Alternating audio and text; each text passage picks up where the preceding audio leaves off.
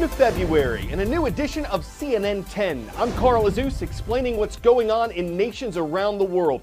First today, we're going to the Middle East for an update from the war-torn country of Yemen. It's located between Saudi Arabia and the Gulf of Aden.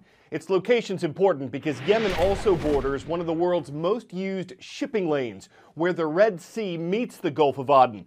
And its ongoing civil war, which flared up in 2011, could have an impact on international shipping. 99% of Yemen's 28 million people are Muslim, but there are religious divisions among them. Most Yemenis are Sunni Muslim, but just over a third are Shiite Muslim. And for years, a Shiite militant group called the Houthis has been rebelling against the Yemeni government. International officials believe the Houthis are supported by Iran, a predominantly Shiite Muslim country. The Yemeni government forces are supported by Saudi Arabia, a predominantly Sunni Muslim country, so religious tensions in the region outside Yemen factor into. The situation, especially for many civilians, is desperate, but there's no end in sight. Yemen is in the midst of a civil war.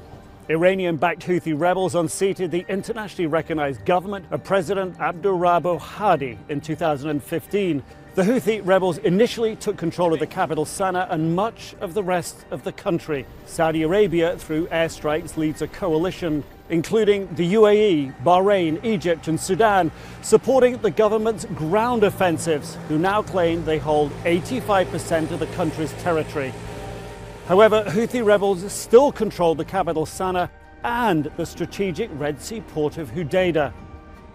A UN report says neither side is doing enough to prevent civilian suffering. More than 13,000 civilian casualties are reported so far, with nearly one third Yemen's population close to starvation and 1 million at risk of cholera.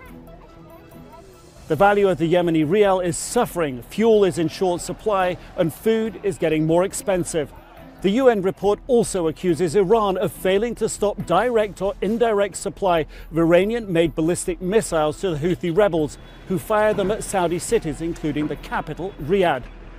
Houthi rebels are threatening international shipping in the Red Sea, warning they'll close the waterway through which one tenth of the world's maritime trade passes.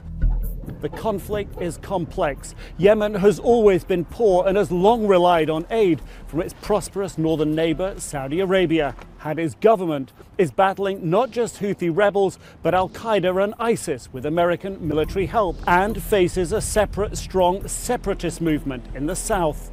For now, the government plans to continue its military offensive to pressure the Houthis to talks. The war is far from over. Investigators are trying to figure out what led to an accident yesterday that involved a large garbage truck and a train carrying dozens of members of the U.S. Congress. Almost 100 Republicans, including senators, representatives, and House Speaker Paul Ryan, were headed to a retreat in West Virginia when the train they were traveling on collided with a tractor trailer. The driver of the truck was killed. Six other people, including two Amtrak crew members, were hospitalized. Except for some minor injuries, all the members of Congress were reportedly okay. Several of them thanked the first responders and asked people to pray for the victims of the accident and their families. And because some of the lawmakers are doctors or have medical training, they were able to help those who were hurt. U.S. President Donald Trump said the Republican Lawmakers Conference would go on as planned. The director of the CDC, the U.S. Centers for Disease Control, resigned from her job on Wednesday. Dr. Brenda Fitzgerald, an obstetrician gynecologist from Georgia, had served as head of the CDC since she was appointed last July. But about a month after that, she reportedly bought stock in a number of companies that included Japan Tobacco, one of the largest tobacco businesses in the world. That's according to a report that came out earlier this week from Politico, a political news organization. Tobacco smoking is the leading cause of preventable death in the U.S and Dr. Fitzgerald has spoken out against it and offered the government's help in getting people to quit. So critics say her stockholding in a tobacco company was a conflict of interest. A spokesman for the U.S. Department of Health and Human Services, which oversees the CDC, says the stock purchase wasn't made directly by Dr. Fitzgerald, that her financial account manager did it.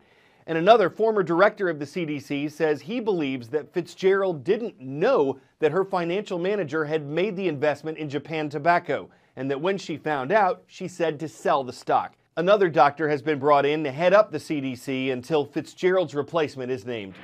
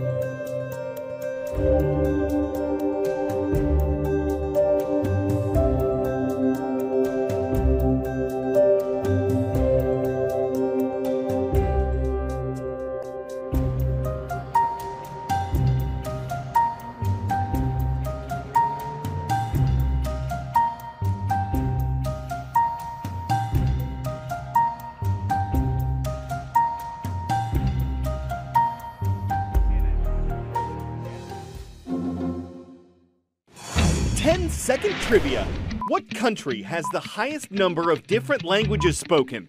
China, Nigeria, Papua New Guinea, or Trinidad and Tobago? More than 820 languages are believed to be spoken in the Pacific island nation of Papua New Guinea. The CIA World Factbook says that's about 12% of all the languages on Earth and they're spoken in a country that's just a bit bigger than the U.S. state of California. There are three official languages in Papua New Guinea that are widely spoken. That helps with communication since many of the other languages are understood by less than a thousand people.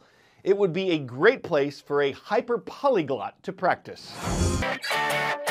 What do you get when you cross a celebrity portrait with dessert? A pie pytret. No, I didn't make that up. It came from a baker and artist and punster who goes by the Pieous on Instagram. Besides baking up puns, she does this, putting people like Oprah Winfrey, Betty White, and Thor in pie form. And if you want another dimension to your dessert, 3D delicacies like the Kraken could be considered both edible and artistic.